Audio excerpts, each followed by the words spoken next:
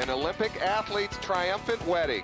Yeah, Miggy, this is an incredible story of love, courage, and beating the odds. And what makes this so amazing is that the world class athlete has battled back after losing both of his legs. You can read about it in a brand new book, but we have his inspirational story right now in tonight's reality show series.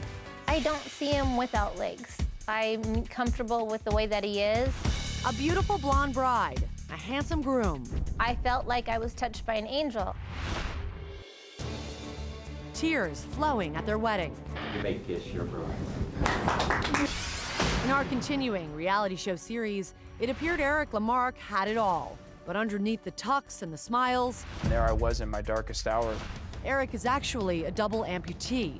The result of being trapped on Mammoth Mountain for eight days in sub freezing temperatures. Realizing that my feet were frozen and that I was going to lose them. The former Olympian and professional hockey player now admits to being high on drugs that fateful day.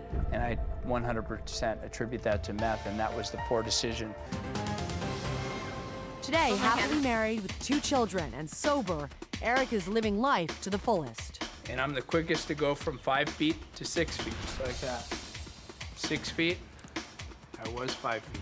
Now an inspirational speaker, entrepreneur, and still an avid sports enthusiast, Eric has written a book about his incredible journey. It's called Crystal Clear. At the end of the day, losing my legs 100% saved my life.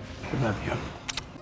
Such an amazing story, and Eric has much more to tell you in his book, which hits stores today.